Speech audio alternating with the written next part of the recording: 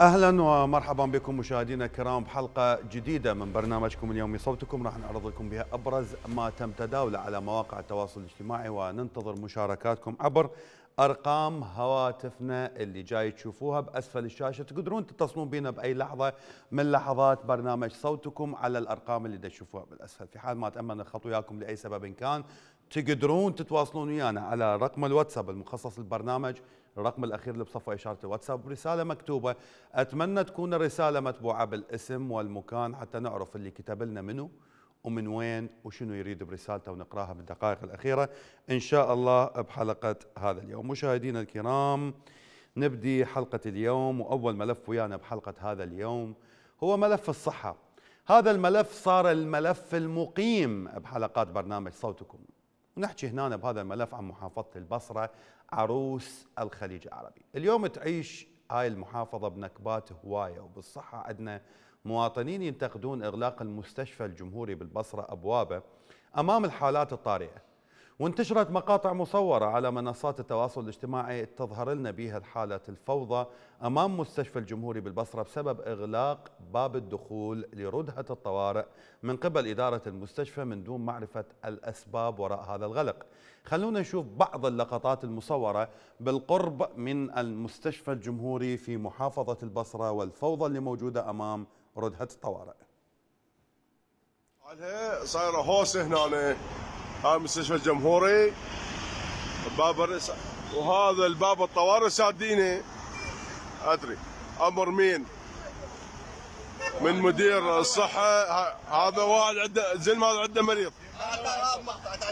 وهذا زلمه عنده مريض. شوف شوف المقطع. بابا الحجي شلون طاحت؟ بابا بابا طايحه طايحة بالقاع. طايحة بالقاع وما حد دخلها. شوف سادين الباب ذول سادين الباب. أبو علي التناوي وما حد دخلها. وهذا باب الطوارئ مسدود. وهذا باب الرئيسي وهذا الزلمة هنا موجود. مسدود. مسدود كله. وهاي الوادم عنده مرضى. وهذا باب الرئيسي. وهذا الزلمة عنده مريض هنا ما حيطبب. العباس ما أبد ما حيطببهم. هذا هذا بعد صورها يطق بالوادم هذا الله أكبر الله أكبر. بعد المرة طاحت. وسادين باب مستشفى الجمهورة الله أكبر الله أكبر. هذا الحال أمام مستشفى الجمهوري اللي سدت أبوابها بدون سابق إنذار. مستشفى تسد أبوابها ليش؟ مستشفى تعزل ليش؟ المستشفى مو دكان. حتى صاحبها يسد الباب مالته وينزل الكبنج ويقول للجماعة روحوا. خلصت عزلت خلص دوامي بعد ما موجود آني. تعالوا لي باكر. هاي مستشفى. راح نبقى بالبصره وتلكؤ العمل بالمستشفيات الحكومية بالمحافظة مثير للجدل. وباقي محافظات العراق نفس الشيء. أحد الناشطين انتقد سوء إدارة مستشفى الجمهوري وتخبط القرار بسبب انه هم أغلقوا المستشفى أمام الحالات المرضية بذريعة الصيانة دون سابق إنذار للمواطنين مما فاق من معاناة المرضى. خلونا نشوف. بناء على مناشدات بالمواطنين بأنه مستشفى البصرة الجمهوري العام الطوارئ مالتها مغلقة أمام المرضى والمراجعين أعزائي المشاهدين. استفسرنا من الأخوة العاملين بهاي المؤسسة الصحية قالوا عندنا صيانة بالطوارئ ومدة العمل 20 يوم.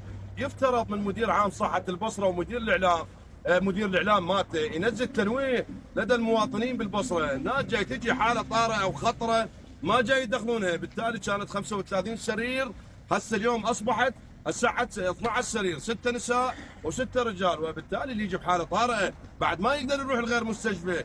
يفترض من جنابكم كدائرة كإعلام تنشرون تنويه للناس. هسه الدنيا محترقة وأكو مرة طاحت وبس جاي يستقبلون ال- الحادث طبعا وابو الجلطه وبقية الأمراض وما شابه ذلك والمزمنة والحالة الطارئه والمتخربط ما جاي يدخلونه. بس سيد مدير عام صحة البصرة فترة العمل 20 يوم يفترض يكون أكو شفتة لأن دخلت هسه بالطوارئ للعمل جوا ما لقيت عمل متواصل على مدار الساعة. 20 يوم طوارئ مستشفى. طوارئ هي واجهة المستشفى هي هو من الطوارئ يدخل ويصير عنده رقود. شلون 20 يوم؟ يفترض تسويها 10 أيام. هذه عنده قسم. القسم الثاني هم تخليه 20 يوم وتسده وتفتح هذا هذه مشكلة كبيرة جاي نعاني منها. تلكؤ الصحة في البصرة. هو يقول المفروض إدارة الصحة تنزل تنويه؟ لا أخويا لا. لا. تنويه شنو؟ إحنا ما عندنا مراجعة ومعاملة. أنت تتعامل ويا أمراض. أكو صيانة بردهة الطوارئ على عيني وراسي. مقبولة بس بالمقابل المفروض أكو بديل. يعني ردهة الطوارئ لازم قبل ما تبلشون الصيانة تنقل إلى مكان ثاني. حتى لو ينجبر المستشفى أن يفتح ردهة طوارئ مؤقتة. لازم أكو بديل للطوارئ. انت تتعامل ويا أمراض والمرض ما بي ما بانتظار يعني لما يقول له للناشط أبو أبو المستشفى أو العاملين بالمستشفى إنه إحنا نستقبل حالات الجلطة وحوادث السير زين البقية شنو؟ واحد عنده ذبحة صدرية. واحد تخربط هبوط بالضغط. واحد صار عنده خلل في في في المرارة أو الغدد الصفراء أو القنوات الصفراء. واحد عنده التهاب بالزائدة الدودية هذا ينتظر.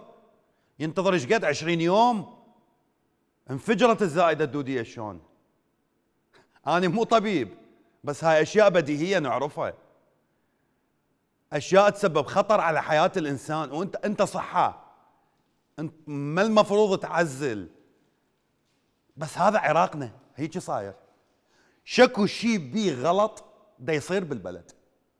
مستشفى سد الطوارئ سدوا وخلصوا. على شنو مفتح المستشفى عندكم صيانة تقدرون تشتغلون ومفتوحه المستشفى الطوارئ بها صيانة نقلوها لمكان ثاني ولحد ما تخلص الصيانة مالتكم ورجعوها. طابق من طوابق المستشفى تستغلون منتصف هذا الطابق نصه لاغراض الطوارئ. تخلص الطوارئ وترجع الأمور كما كانت عليه. بس الجماعة لا يقول لك انسد. ليش يطبوا لنا مرضى؟ المرضى مو مهمين. المهم الصيانة اللي موجودة بالمستشفى. و20 يوم. والمستشفى مو المفروض الصيانة بها تصير 20 يوم. وقال كلمه قال المفروض العمل بشفتات. صبح ظهر عصر مغرب عشاء ليل المستشفى بها عمل المفروض راضي البصراوي. على الجميع يفهم مدير صحة البصرة أو يفهم أنه نايم. مهدي ساعدي لعد وين تروح ميزانية وزارة الصحة؟ أبو حيدر البختري يقول والله المستشفيات بالعراق وبالخصوص الوسط والجنوب فاشلة. الحكوميات لا علاج ولا إنسانية ولا رحمة. أما علي مولود يقول معروفة الجهات اللي ما تريد الواقع الصحي والخدمي يتطور وكل سياسيين شراكة وياهم على تدمير هذا البلد. بس الشعب شو وقت يصحى؟ ما أعرف. هذه كان كلمة الأخ علي مولود. مشكلة الصحة بالعراق اليوم لما نتعامل ويا ملف الصحة هذا الملف اللي يتعامل ويا حياة الإنسان واللي يتعامل ويا وضع الإنسان واللي يتعامل ويا صحة الإنسان. لأنه هذا الملف بحياته موت. هذا الملف بخطورة على الإنسان وباهميه على على على الإنسان. من المفترض أنه أكو وزير صحة. ومن المفترض أن يكون وزير الصحة طبعا من الكوادر الطبية أو الصحية ما يكون من خارج هاي الكوادر. طبعا الله أعلم لأنه بالعراق اليوم آه، كل التعيينات تصير مشترى فحتى وزير الصحة يقدر يشتري المنصب مالته إضافة إلى المحسوبية. فحتى وزير الصحة يجيب محسوبية إضافة إلى الفلوس اللي يدفعها هذا الوزير هنا وهناك فيريد يعوض فيبدي يشتغل بالكوميشنات ويبدي يدعم الأهلي حتى يعوض اللي دفعها حتى يصير هو وزير. أما بالحالة الطبيعية والصحيحة المفروض الوزير لما تصير هيك حالة نلقي طاير من بغداد للبصرة. ويوقف على رأس العمل بنفسه حتى يتأكد إنه الناس ما تعاني. بس هاي لو كنا في بلد يحترم الصحة كذلك وزير التعليم لما يشوف حال المدارس العراقية يروح بنفسه حتى يطمن على كل مدارس العراق. هذا لو كنا في بلد يحترم التعليم. وكذلك وزير الكهرباء وزير الزراعة وزير الري وزير الموارد المائية. كل هاي الوزارات المفروض الوزراء هم على رأس عملهم ويتابعون الأشياء اللي تتبع لهم. وأي شيء إلى صفة حكومي الوزير المفروض هو الداعم الأول له لكن بالبلد اليوم بالعراق أي شيء يحتمل أو يحمل صفة حكومي ما له دعم مستشفى حكومي خارج دعم الحكومة. مدرسة حكومية خارج دعم الوزارة. آه، مستوصف حكومي خارج دعم الوزارة. مزارع أو أراضي تابعة للدولة خارج دعم الدولة. كلمة صنع في العراق وهي المفروض الأهم خارج متابعة الحكومة أو من نسمي نفسها حكومة. بالمقابل ما شاء الله عندنا وين ماكو شيء بمشكله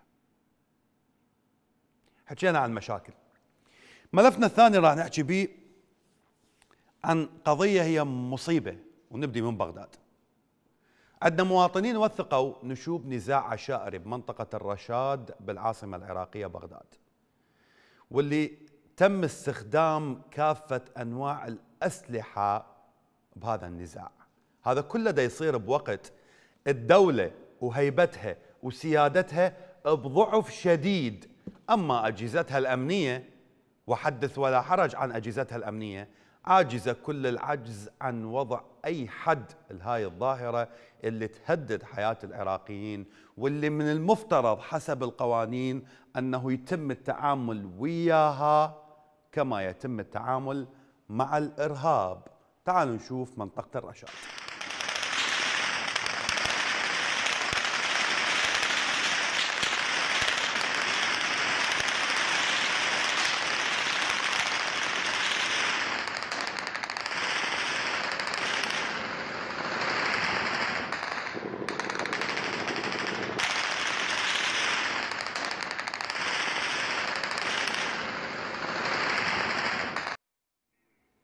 هاي بمنطقة ببغداد؟ هذا اللي يشوف الفيديو بدون ما يقرأ ال caption يقول كوريا الشمالية هجمت على كوريا الجنوبية. هذا ال ال ال الفيديو لما يشوفه واحد بدون ما يعرف القضية شنو يقول أمريكا رجعت هجمت على بغداد مرت اللخ على العراق. هذا caption اللي يشوفه سيقول آه، آه، حرب بين دولتين أوكرانيا وروسيا. هذا هذا مو ببغداد. عيني وزير الداخلية تدري أكو نزاع عشائري بمنطقة الرشاد؟ وشمرات عصا منطقة الرشاد عن وزارتك. عين الكوادر الأمنية والناطق الرسمي باسم العمليات وغيره وغيره يدرون أكو نزاع عشائري لو ما ي... ويدرون الكم الهائل للإطلاقات اللي تم استخدامها بهذا النزاع. بعدين اللي دا يتعاركون ببيناتهم إيش دعوة؟ شكو إيش صاير؟ واحد يفهمنا شنو الموضوع؟ ليش تعاركوا ليش الجماعة بالرشاد متعاركين بهاي الأسلحة؟ ورمي ما شاء الله. مدى يوقف؟ وش قد طول هذا النزاع؟ وقدروا يسيطرون عليه لو لا؟ ولو القوات الأمنية إحنا اكتشفنا بعد عمل الكثير من حلقات صوتكم اكتشفنا أن القوات الأمنية ما تقدر تشتغل إلا بالمظاهرات. أما ناس شايلة سلاح ما يقدرون يوقفون بوجههم.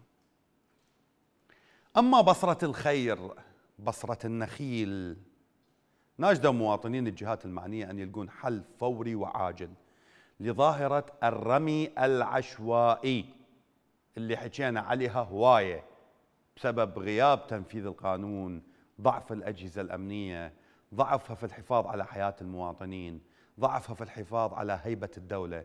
وطالبوا المواطنين أن يتم سحب السلاح المنفلت. طالبوا أيضا أن تتم محاسبة كل من يقوم بإطلاق الرصاص بشكل عشوائي وفي جميع المناسبات. خلونا نشوف. الآن الساعة بالوحدة بالليل وراح تصير بثنتين بالليل ومثل ما تشوفون العوائل والأطفال والشباب منزعجة من قبل الرمي. وبالتالي مرارا وتكرارا فتشتوا ردتوا عالجتوا اشتريتوا وما تخلصتوا من قضية السلاح ونزعه. ما معقول إحنا اليوم عوائل مزعوجين المجتمع مزعوج. فاز العراق احترق الجو. الامرته جابت رمي صار عنده فاتحة رمي صار عنده عرس رمي. هذا استهتار بحياة المدنيين بالعراق. كافي. سلاح ضال منا ومنا بالشوارع. ازعاج عندنا كعوائل عندنا مرضى عندنا أطفال. كافي دولة الرئيس ترى مليانة بالقرآن مليانة. الآن الساعة بثنتين بالليل ما هايدين. مزعطه شايله سلاح وتنفج منا ومنا. والسلاح جاي ينباع تحت أنظاركم. بالفيسبوك بالجروبات بالواتساب بالفيسبوك. جاي ينباع سوق المفتوح. ما معقولة؟ هذا عبث بحياة المواطنين. إيش قد حكينا على قضية الرمي العشوائي؟ بس آه، أكو شغلة ال ال الأخ الناشط هنا نساها. قال اللي يفوز إذا فاز المنتخب يرمي اللي مرته تجيب يرمي اللي عنده مناسبة عرس يرمي اللي عنده فاتحة يرمي. ونسيت اللي يصير وزير يرمي واللي يصير مدير عام يرمي واللي يصير رئيس برلمان يرمي واللي يصير بالحماية يرمي. ذولا نسيتهم. فإحنا نذكر الناس بيهم وإذا واحد يجيني يقول لي لا المسؤولين والمتنفذين ما لهم علاقة بالموضوع أحب أقول له شوف حكومة السودان لما استوزرت. وشوف الوزراء مالتها وروح شوف. وزير تربية رمى. وزير ما أدري شنو رمى. وزير موارد مائية رمى. هذا اللي دا يصير اليوم بالعراق. المشكلة اللي دا نحكي بها الرمي العشوائي. اولا هدر للمال العام. ثانيا ضياع لهيبة الدولة. ثالثا ضعف القانون وانتشار السلاح بشكل غير طبيعي يؤدي إلى ارتفاع نسبة الجريمة. رابعا لما تعيش ببلد السلاح منفلت به ودولة ما لها هيبة ومرتفعة بها نسبة الجريمة نسبة الخطر تزيد. الخطر على حياة المواطن. الخطر على حياة الناس. لأنه الطلقة ما تعرف واحد قاعد ببيته لو مو ببيته. أكو فيديوهات هواية نشروها ناس وإحنا طلعناها بصوتكم. هم بداخل منازلهم والإطلاقات طبت لبيوتهم. فأني أريد أسأل الجهات المعنية من وزير داخلية إلى وزير دفاع إلى قائد عام للقوات المسلحة إلى رئيس وزراء إلى أعضاء اللجنة الأمنية إلى مسؤول اللجنة الأمنية إلى أعضاء اللجان الأمنية بالمحافظات إلى المحافظين. إيش وقت تهتمون بحياة المواطنين؟ أتمنى تجاوبون على هاي القضية. الناس لما شافت هذا الفيديو علقت وغيره من الفيديوهات علقت على موضوع الرمي العشوائي والنزاعات العشائرية ورزقار يقول لعد وين القوات الأمنية؟ بس قادرين على الفقير دق مداهمات. شنو هذا السلاح والرمي العشوائي يروح بها ناس فقره وعمار الحلو يقول عندنا جيش وشرطة مليون ونص. ما نشوفهم بس بالاستعراضات وقمع المظاهرات. وثامر معارج يقول من أمن العقاب ساء الأدب. غياب الردع القوي من قبل الحكومة. وكريم الحساني يقول أين القانون يا حكومة الإطار؟ إلى متى هذا الانفلات الأمني؟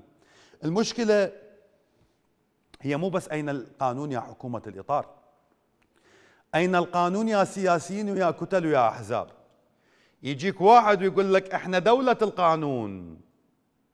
والدولة بلا قانون. وكلها تحكي بالقانون والدولة بلا قانون. ويجي واحد ويقول لك إحنا نبني والعراق بس هدم. ويجي واحد يقول لك إحنا تقدم والعراق راجع لورا ويجيك واحد يقول لك إحنا تحالف العراقيين والعراق مبيوع للدول الجوار وللخارج دول الجوار اقصد إيران إيران وأمريكا. ويجي واحد يقول لك إحنا الحكمة وسياسه البلد ما بها حكمة. وإذا ترجون على مسمياتهم فمسمياتهم جميلة. من تجي تسمع دولة القانون تقول يا الله دولة بها قانون بس بلد ما بيه قانون. يجي واحد يقول لك إحنا إحنا جينا حتى نبني هذا البلد ونعمر تقول يا الله راح نشوف شيء جديد. وتباوع بس هدم ودمار وتجريف واستيلاء. لما يجي واحد يقول لك إحنا دولتنا تديرها الحكمة. زين الحكمة وين؟ الحكمة بارتفاع نسبة البطالة الحكمة بارتفاع نسب آه، آه، اليد العاملة الأجنبية الحكمة بأنه الشعب ناقم الحكمة أنه الشعب جوعان وحتى الحصة التموينية ما توصل الحكمة أنه الرواتب بالعراق اليوم لا ما تتناسب ويا المعيشة الحكمة اليوم لما الكسبة ما يقدرون يعيشون الحكمة اليوم لما يكون نسبة الفقر بالعراق أعداد هائلة جدا. الحكمة لما يكون نصف شباب العراق متعاطي للمخدرات الحكمة لما تكون البلد بلد تنتج وتزرع فيه المخدرات إضافة إلى التصدير اللي يجينا من الخارج. القانون لما يكون المنافذ الحدوديه مسيطرة بيد أحزاب وبيد ناس. القانون لما يكون النفط مو للبلد. القانون لما يكون أكو هدر بالبلد. هاي هذا العراق. بس مسميات. ويطلعون بالتلفزيون ينظرون. وعلى هفوة واحدة تطلع كل فضايحهم. مثل ما طلعنا البارحة مدير عام شركة فلاي بغداد أو المدير التنفيذي لشركة فلاي بغداد اللي كشف إنه الشركة عندها عقود ويا الجيش الاحتلال الأمريكي لنقل جنود الاحتلال الأمريكي بمعرفة الحكومة في بغداد.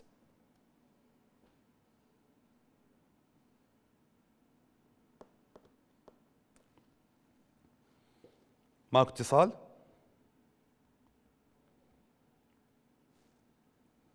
طيب. الكل يعرف قضية محاولة الكتل السياسية والأحزاب والمتنفذين من بعدهم واللي عنده ظهر منا ومنا واللي ما محترم الدولة وبعدها المواطن. محاولتهم للاستيلاء على أراضي المواطنين والدولة على حد سواء. هذا كله دا يسووه من أجل منفعتهم الشخصية البحتة بعيدا كل البعد عن منفعة الوطن والمواطن. راح نبدي ملفنا بهذا الخصوص من كربلة. عندنا ناشطة من المحافظة يوثق لنا تجريف أراضي بالمحافظة من قبل جهات متنفذة تحاول أن تستحوذ على هاي الأراضي بشكل مخالف للقانون. والذريعة صارت معروفة للكل أنه هم دا يستحوذون على هاي الأراضي بحجة الاستثمار. تعالوا نشوف الناشط شو يقول. وأكيد هاي تشوفون هاي الضغط العالي هذا الضغط العالي اللي مار منا اللي وصلنا إنه شخصيات تدعي انها برئاسة الوزراء وشخصيات متنفذة تحاول الاستحواذ بصفة رئاسة الوزراء.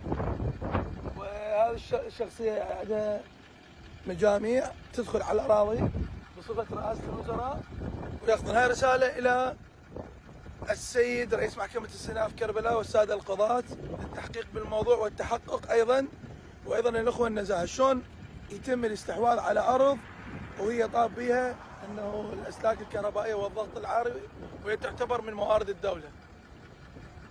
بنفس الوقت أنه هاي الأرض شلون يعني قدر يستحوذ عليها بصفة أنه رئاسة الوزراء أو بصفة حكومية. أكو أراضي بالدولة يسموها أراضي محرمة. هي اللي بيها سكك القطار اللي بيها أنابيب النفط اللي بيها أسلاك الضغط العالي لتمديد الطاقة الكهربائية أو لإيصال الطاقة الكهربائية. آه، وأكو هواية من الأمور اللي تدخل من من من أبواب الأراضي المحرمة على الاستثمار والاستملاك والاحتكار و و و وتعتبر أراضي تابعة للدولة. أما اليوم بالعراق نشوف قطعة قاع بها أنابيب مال نفط وتعطي إيجار الوزارة الواحد لأن يقول هاي القاع ماتي. وعندنا قاع بها آه، أعمدة كهرباء ضغط عالي وأسلاك ضغط عالي والوزارة تعطي أجار إلى مواطنين لأنه المواطن يقول هاي القاع ماتي. وعندنا قياعين بها سكة القطار. وعندنا سكك مال القطار بنص المناطق. زين ذن القياعين. منو اللي نطى الأمر أن يتم الاستيلاء عليها؟ ذني مو أراضي تابعة للدولة. إذا الدولة مدى تحافظ على القياعين مالتها على الأراضي مالتها شلون راح تحافظ على أراضي الناس؟ تعالوا نشوف اللي صاير بمحافظة ديقار. اشتكى ناشط من الناصرية محاولات أحزاب وجهات متنفذة أن تستولي على المسطحات وين بكورنيش الناصرية الكبير بذريعة الاستثمار حذر إنه الاستثمارات العشوائيه بالناصرية خصوصا على ضفاف نهر الفرات تسبب مشاكل كبيرة على الرغم من كثرة المناشدات السابقة حتى يشيلون التجاوزات على الكورنيش لكن هاي المناشدات ما لاقت أي اهتمام واستجابة من قبل الجهات المعنية لسبب إنه اللي دا يتجاوز على كورنيش الناصرية هم الأحزاب والكتل السياسية فما يقدرون يشيلونهم تجاوزاتهم. على البناية الواقعه بين جسر الحضره وجسر النصر. وهو المجمعات التجارية والمطاعم والكوفيات الموجودة على ضفاف نهر الفرات، هذا طبعا أكو محرم 16 متر. وهو ممنوع استثمار داخل محرمات نهر الفرات. بس الحقيقة تشوفون هذا الكورنيش يتوقف، يتوقف شنو أكو مجمع هنا كوفي ومطعم. إحنا ما نذكر اسمه. أبناء المحافظة قال كلها تدريبي من تابع هذا الشخص. التقيت أنا طبعا التقيت ولي أمين عام حميد الغز ببغداد. وأكدت على هاي البناية. قال أنا وجهت المحافظ بازاله البنايات والتجاوزات يا سيدي الأمين العام بقيت خمس أيام بالناصرية. وهاي البناية ما شفته يعني المسؤولين من يكذبون. عيب هاي عيب. إحنا نقول لكم البناية حد هاي اللحظة. وهاي موجودة والصرح هاي شوفوا توقف العمل بكورنيش الناصرية تجاوزات. بجهتين بصوب الشامية بصوب الجزيرة هاي البنايات كلها باقي على وين التوسعة؟ لا شارع النهر موسعينه لا كورنيش الناصرية موسعينه كامل المليارات. هذا الكورنيش صار على خمس مراحل. مرحلة رمي حجر مرحلة تصفيت مرحلة صب ومرحلة تطبيق هسه إحنا نعرف ال system هذا. كل كل مرحلة تخصيص مالي. طبعا هو هنا اللي يبدي ال- ال- الفساد. يعني الفساد وين؟ على عدة مراحل. كل مراحل يعني من 2021 كل كل سنة خصصوا له موازنة. واضافه الموازنة تنميه الإقاليم. طبعا هذا الكورنيش إذا قبض اعتماده حيوصل 100 مليار بالناصرية. ولحد الآن ابناء الناصريه ما مستفادين. لأن ما طول أكو بنايات تجاوزات آه، ضفتين نهر الفرات ما راح تستفاد العوائل. لأن لا عندهم متنفس. مدينة الالعاب صادروها. المنتزه مساحته 2000 متر صغيرة. قلنا يا الله بكت الله عندنا كورنيش متنفس. بس هي ما تشوفها. زين إذا العوائل منين تجي. هسه هاي شوف البنايات هاي. العوائل منين تجي على الكورنيش. يا الامين عام يا محافظ ايقاف قائم مقام الناصرية. يعني أنتم أكو كتب صادرة بازاله التجاوزات والتعرضات على ضفاف نهر الفرات. وأنت مدير بلديه نفس الحاله مصدر 26 كتاب بإزالة. حد الآن ما طبق فقط المحافظة. والمحافظة مفلشتوها النزاهه صدرت عليكم تحقيق. لأن قال لكم شلون فلشتوها؟ بدون إيه، عرضها مزايدة مناقصة. لأن بها أملاك تابعه للدولة. هاي البنايات. ذيك منظمه بدور باقي على وضعها. كاتبين عليها إيه، إزالة. ولحد الآن طابوا قاعدة ما زلتوها. فقط 26 تجاوز وتعرض على ضفاف كورنيش ناصرية. إذا أنتم على هذا الوضع كان ليش بغيت تخسرون هاي خوف بنين منتجع سياحي إيه، على اليابسه أفضل ما يعني الكورنيش راح يصير وقت وقت الك- الكوفيات والمطاعم. أبناء المحافظة ما راح تستفاد من عنده 26 كتاب. غير مدير عام حوك ما شاء الله. أو بالأحرى مو حوك غير مدير عام إلى هيبة لأنه هيبة الدولة ماكو. 26 كتاب بالإزالة وما حد ينفذ. الخلل وين؟ بالمدير لو باللي جواه لو بالهيئات التنفيذية لو بالمتجاوزين. تعرفون شنو اللي دا يصير بالعراق؟ هذا الكوفيل اللي طلع لكم إياه. صاحبه فد واحد. هذا الفد واحد عنده عرف أو يجوز هو بحزب أو كتلة. مثل ما قال منظمة بدر عندها تجاوز على نار, نار الفرات بال بالناصرية. ألو حجينا؟ المدير العام صدر علينا قرار بالإزالة. عوفه ما عليك بيه. الحجي شال التليفون. إذا تزيل هاي البناية شوف شو صار شو يصير لك؟ هذا اللي دا يصير بالعراق. أما ببغدادنا الحبيبة اهالي ناحية الحماميات بالتاجي يناشدون الجهات المعنية أن تتدخل لمنع إزالة والاستيلاء على الملعب الرياضي بالناحيه من قبل جهات متنفذة بذريعة الاستثمار واللي العراق ما دا يشوف شيء من الاستثمار. ولوحوا الاهالي أنهم راح يتظاهرون وراح يعصون مدنيا بحال الاستيلاء على الملعب الرياضي اللي يعتبر هو المتنفس الوحيد لشباب المنطقة وحملوا الجهات الحكومية بالناحيه المسؤولية الكاملة. خلونا نشوف. الموضوع كالتالي. اغتصاب ملعبنا اللي صار له ابا عن جد. إجت جهات خارجية. من خارج المنطقة.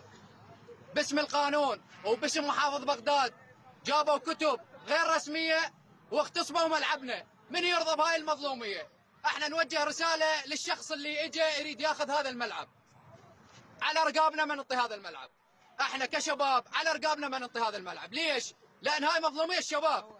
الحكومة شنو قدمتوا لنا انت بدل ما تجي تأسس لي ملعب هنا للرياضيين للشباب تجي تغتصب من عندي ملعب هاي مستحيلة ما نرضى بها نرجع إلى دور نواب شمال بغداد اللي نايمين.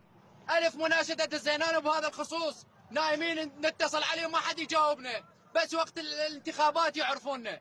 والله العظيم والله العظيم والله العظيم. ما نسكت وباقين. ورسالة ثانية. إلى السيد قائم مقام التاجي. خليه يجي يحضر هنا ويبين لنا شنو السبب اللي أخذوا هذا الملعب. ثانيا نحمل شعبة الزراعة متواطئة مع الشخص اللي أخذ هذا الملعب.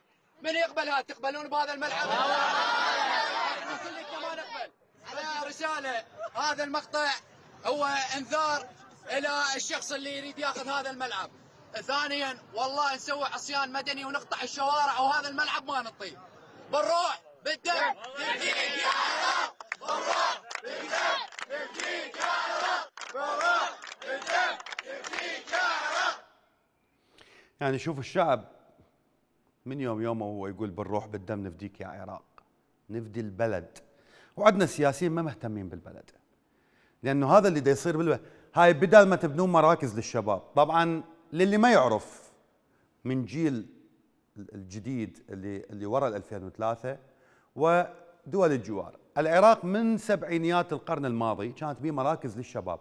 مراكز للشباب آه، يستفادون آه، من من الطاقات الشبابية بداخل هاي المراكز. والشباب بالمناطق العراقية بكل مناطق العراق الشعبية وغير الشعبية أكو مركز شباب للتنفيس عن عن شباب. ووالدي واحد من الناس اللي أول تعيين له بحياته لما يتخرج من الجامعات العراقية أو من جامعة بغداد في سبعينيات القرن الماضي كان في مركز شباب.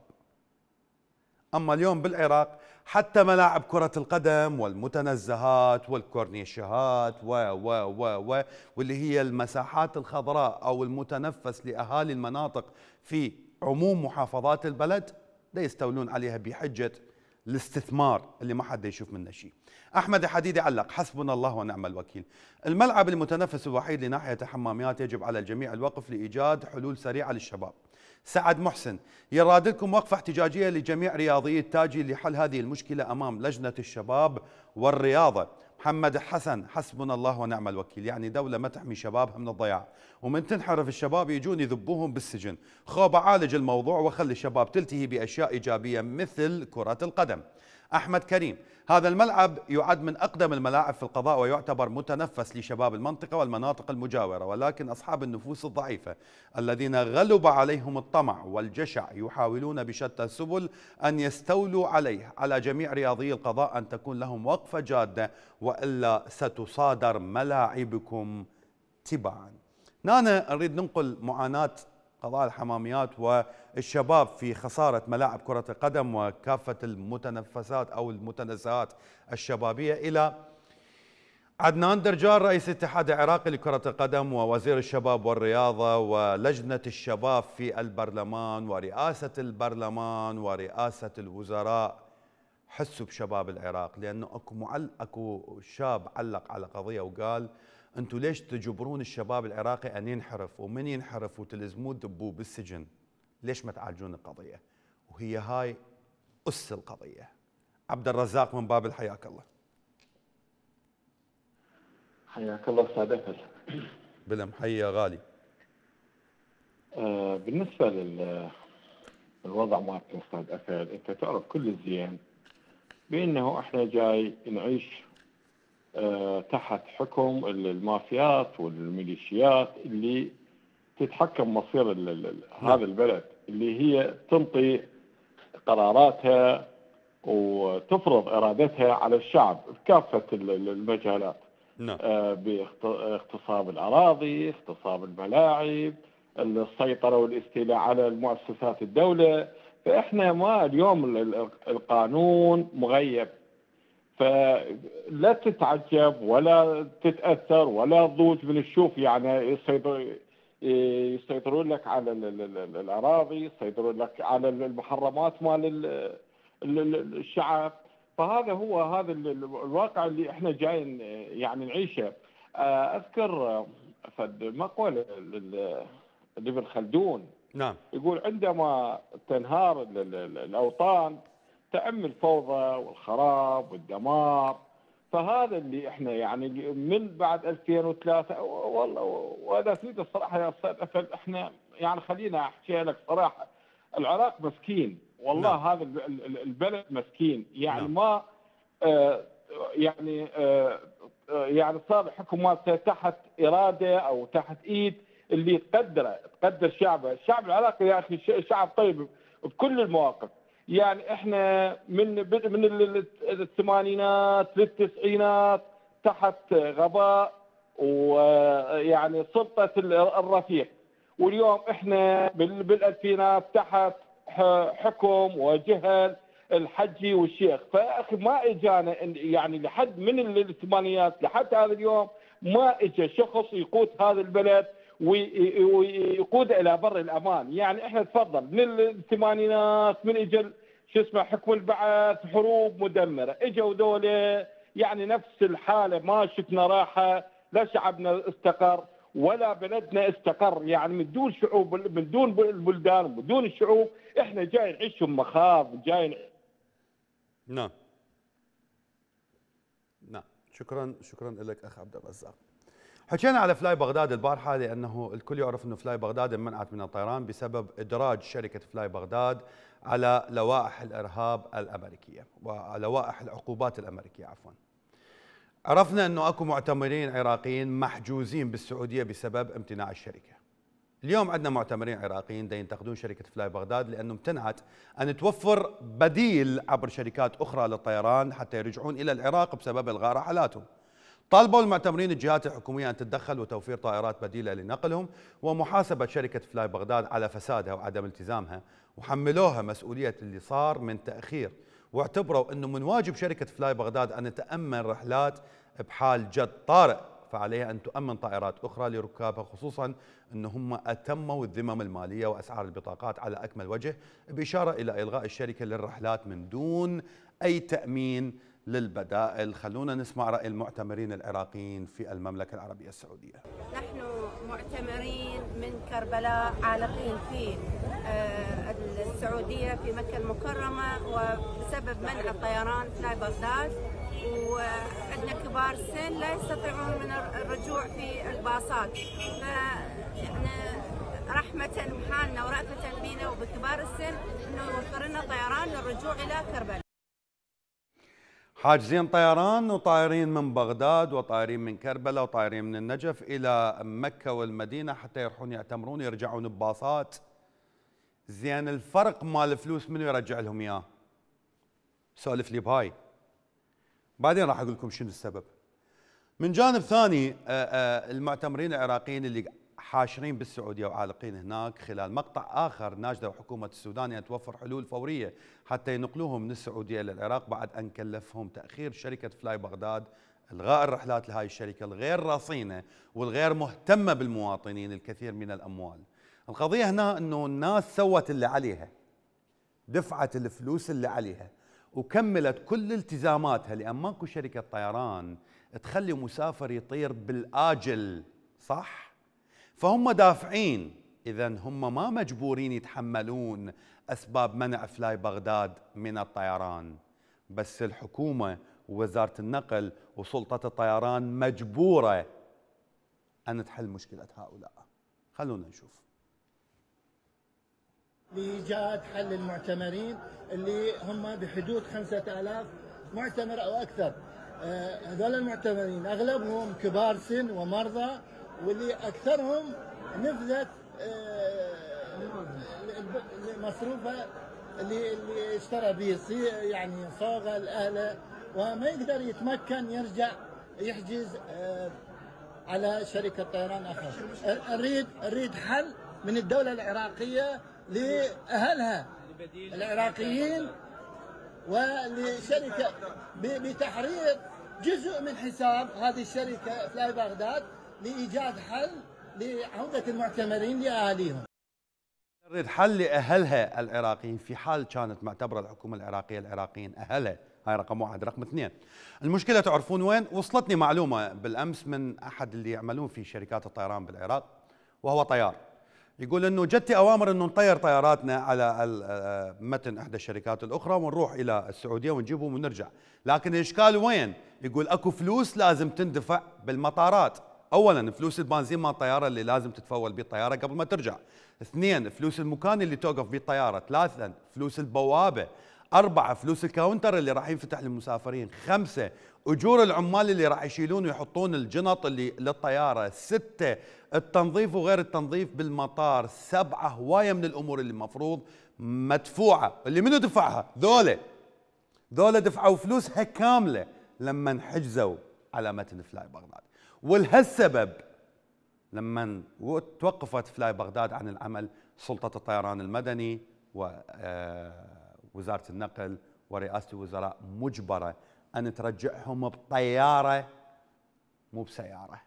الناس لما شافت هاي الفيديوهات علقت على هذا الموضوع. واول تعليق موجود أنا من الحاج مثنى. هذا لو دولة بها قانون عادل كان يأخذون تعويض على هذه البهذلة. مساكين شنو ذنبهم تبهذلون الناس هيك دول تبعث طائرات خاصة من أجل المواطن بس العراقي يدفع فلوسه وبفلوسه يشبع قهر بالمطارات. أبو عراق المقصوصي هي الحكومة تتعمد هالشكل حتى الطيران بالعراق يصبح أفشل من الفاشل. والحقوقي ذو الفقار المعموري ماكو حكومة تخلي حد لشركة فلاي بغداد. وخالد السيد جاسم العبادي معقولة كل هذا يصير بالمواطن العراقي؟ مع الأسف. هو منتخب العراق سنة 2007 جاب كأس آسيا وما دزوا له طيارة رجعة. الفساد والإهمال يبقيان الطيران المدني العراقي في دائرة الحظر الأوروبي. هذا هو عنوان الإنفوغرافيك اللي سلط به قسم التواصل الاجتماعي الضوء على الفساد المستشري بالعراق واللي انعكس على سمعة الطيران المدني العراقي وخلاه في دائرة الخطر والحظر الدولي خصوصا بعد العقوبات الأخيرة اللي وجهت إلى شركة فلاي بغداد سيئة الصيت خلونا نشوف هذا الإنفوغرافيك.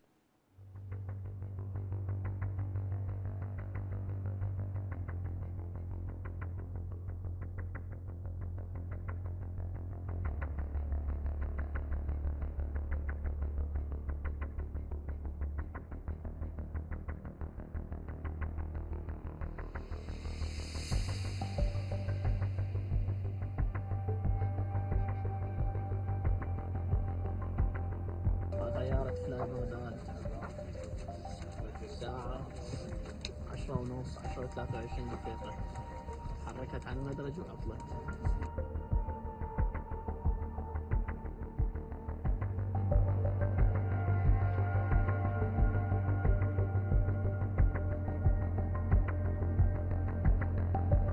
الطيران العراقي المدني مهدد من حيث سوء صيانة الطائرات بسقوط طائرات.